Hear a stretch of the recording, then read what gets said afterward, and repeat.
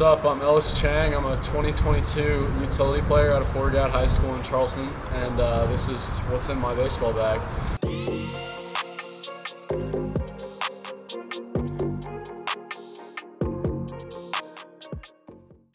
So first of all, this is a pocket radar that I bought for way too much money that Cooper Holbrook took from me. So that's just something to know. I'll put that back in my bag. So start out with the big stuff. This is the this is the catcher's mitt I use. It's a Salvador Perez Rawlings model. I've had it for four years, and it's just always been the glove that I've loved. i have used Rawlings my entire life. I've never cheated with Wilson. I'm proud to say it. It's uh, I just love the way they make it, and it just feels. I've always thought personally it feels more genuine than Wilson glove. Hope nobody comes at me for that, but yeah.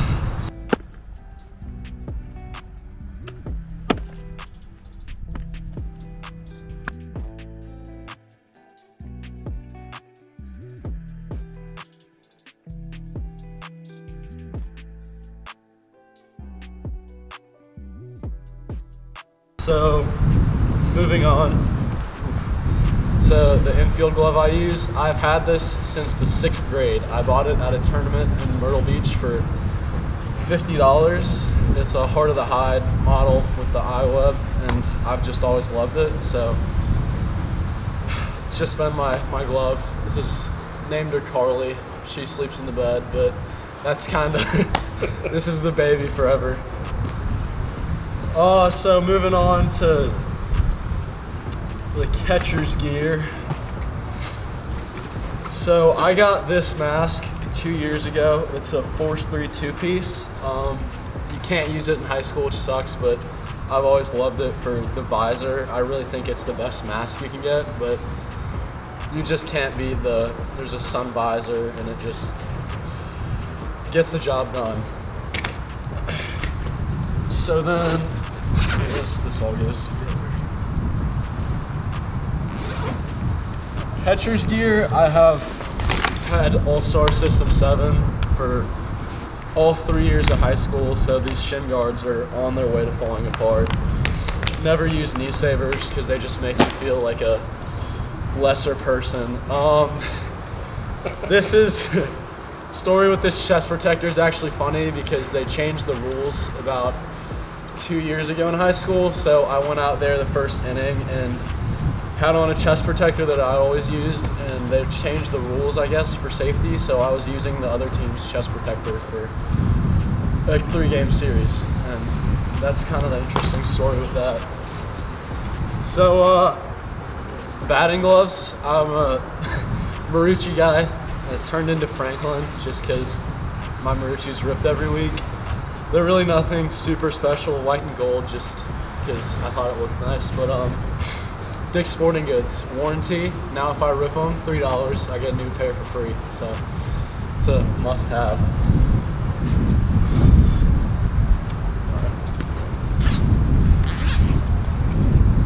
So the helmet I use, it's just Rawlings. The story with this is actually we were at a tournament. I was so it was maybe this last summer, and it was the worst slump of my life. So just trying to figure it out. And then we, I just had a kind of idea in the middle of it. We had a time between games, and then I went and I just changed the helmet that I was using. For whatever reason, it clicked.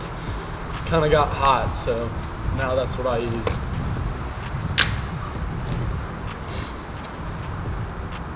So bat-wise for high school, the last two years I've used the, gosh, 2019 Meta Prime, and it's just always gotten the job done. It's light and you can't really miss. You can hit one off right here and it'll go just as far as if it's right here. So I just always loved it. I'm kind of getting back into the Voodoo 1 right now just because it's got juice, but I think this is just a great bat for somebody, especially because I hit leadoff. And if you're looking to just put up the bat on the ball and get knocks, this is what you want.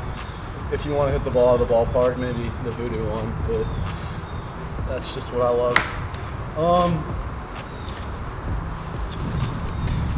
so then, nothing special.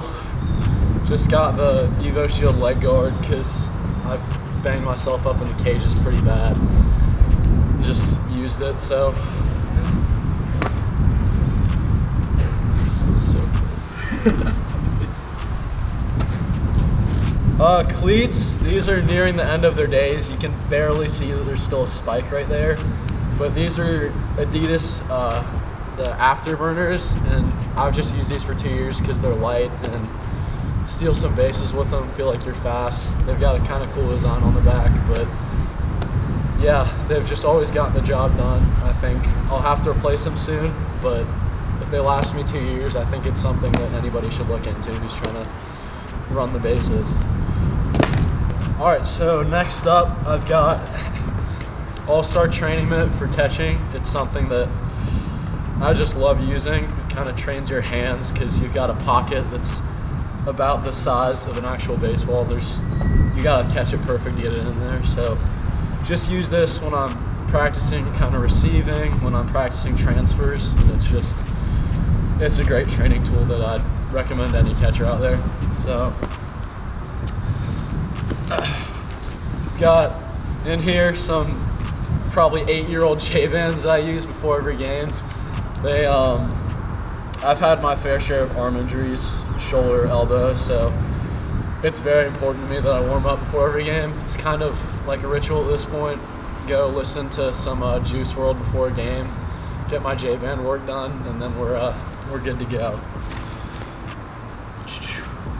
All right, so I've got the uh, these have kind of become big recently, but just a sliding mitt goes on my right hand because I had some pinky I had kind of a half fractured pinky a while ago that I had to keep up with.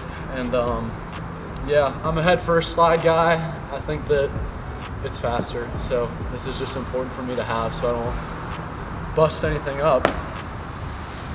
And then the last thing kind of comes out of the ruins of my option football career as an option quarterback, but uh, tore up a shoulder and now I have to wear a brace everywhere I go. So that's what's in my baseball bag, and thanks for watching.